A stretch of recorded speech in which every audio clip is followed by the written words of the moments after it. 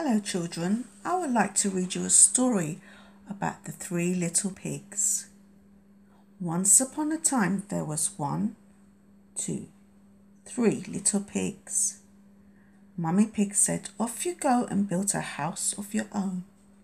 The first little pig built a house of straw. The second little pig built a house of sticks. The third little pig built a house of bricks. One day, the big, bad wolf came along and knocked on the house of straw. Little pig, little pig, let me come in. No, no, no, not by the hair of my chinny chin chin. Then I will huff and I will puff and I will blow your house in. So he huffed and he puffed and he blew the house down.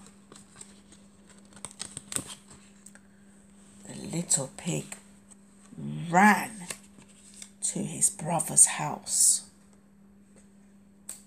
Along came the big bad wolf and knocked on the house of sticks.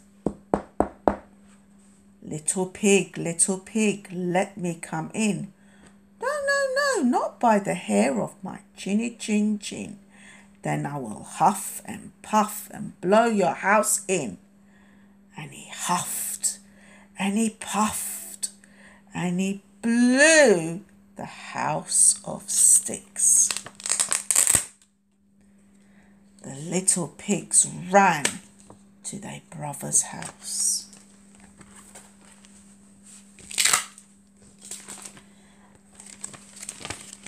The big bad wolf followed them to the brother's house.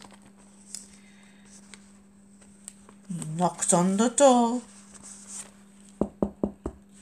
Little pig, little pig, let me come in. No, no, not by the hair of our chinny chin chin. Then I will huff and I will puff and I will blow your house in. And he huffed and he puffed, but he could not blow the house down. So he climbed up the chimney.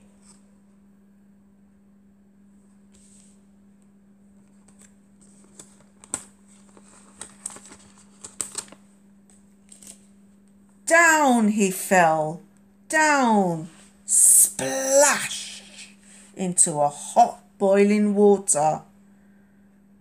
And that was the end of the big bad wolf. He was never again to be seen. The